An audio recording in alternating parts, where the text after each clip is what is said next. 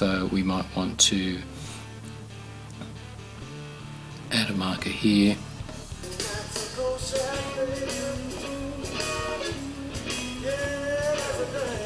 we might want to add a marker there and then shoot straight back to the marker or the second marker